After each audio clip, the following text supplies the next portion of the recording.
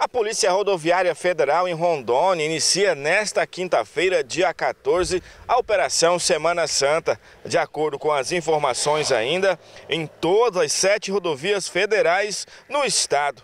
A ação segue até o dia 17 de abril, domingo de Páscoa. Como em todo feriado prolongado, é esperado mais movimento nas rodovias, elevando o fluxo de veículos e aumentando o risco de acidentes. Dessa forma, os esforços e as ações estratégicas terão como foco a preservação de vidas. O aumento do fluxo de veículos nas rodovias federais é um dos fatores que contribuem para o aumento da violência no trânsito e acidentes graves.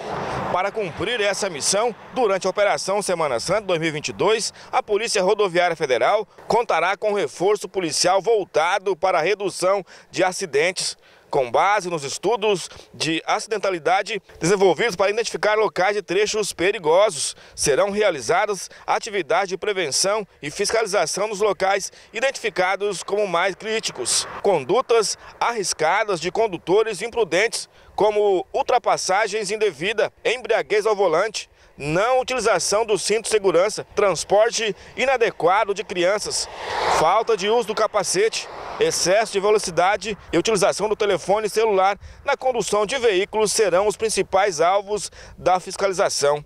O somatório dos esforços e ações estratégicas visam garantir segurança, conforto e fluidez do trânsito aos usuários das rodovias federais. Com as imagens de Alex Feliciano, Mário Genzen, para o jornalismo da SIC TV.